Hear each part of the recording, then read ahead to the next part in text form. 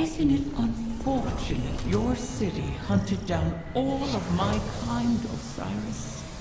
You might have wished for Saint-14's return from the forest. And have him trade the Vexus Dorman for yours.